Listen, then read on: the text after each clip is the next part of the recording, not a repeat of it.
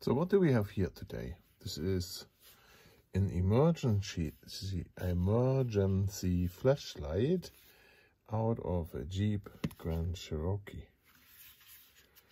When you push here on the side, then you get uh, a light on. See this one does not work anymore. And I have to show you how to open those up. So they are usually recharged in the vehicle uh, where this thing is mounted. And then after 10 years old, uh, the battery can go dead. Mm, and I'm going to use um, plastic pry tool here to open up the case. You can see here how that goes open.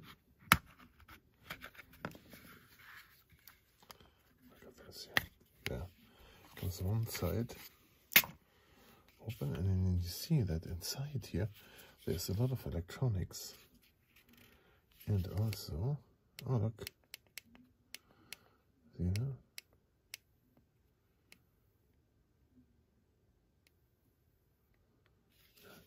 look at that still works a little bit.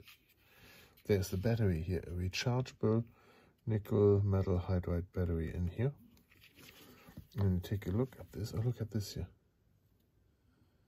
that indicates that the battery is weak. It's blinking.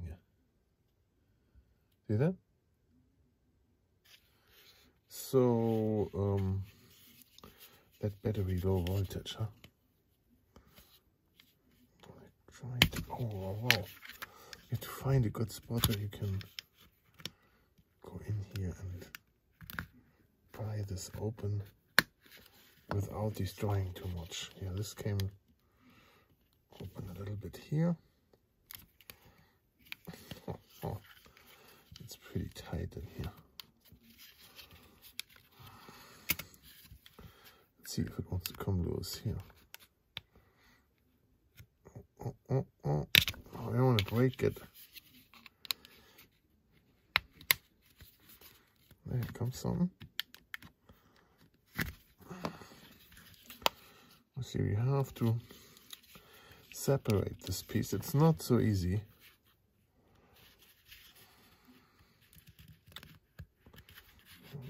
In a little opening this like this. Look, we get in there somewhere else. This is coming loose here on this side. Hmm?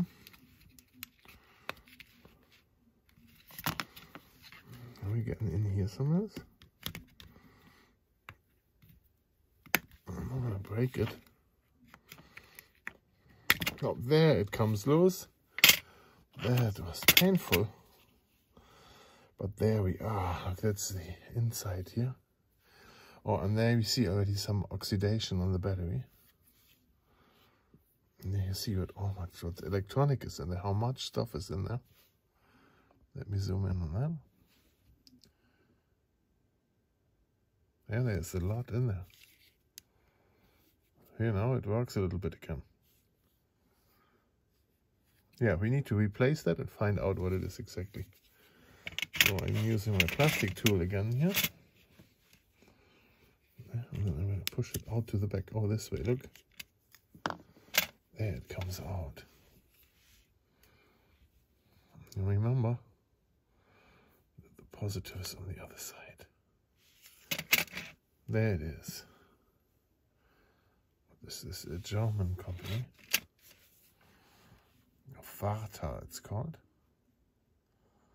I think you can read the model here. Yeah.